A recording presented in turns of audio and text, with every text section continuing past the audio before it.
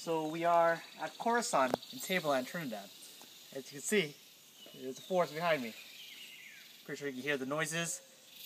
I don't know what it is. I haven't seen water or electricity for a while. I hope I'll make it through. I don't know though.